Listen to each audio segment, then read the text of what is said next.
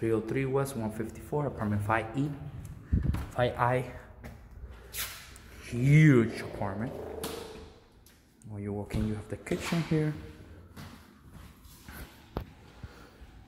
Iceland windows all over the place. One deep closet here. Then this is the living room.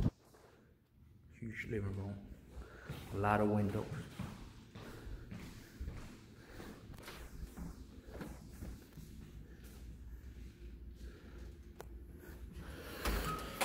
another closet here. The bathroom.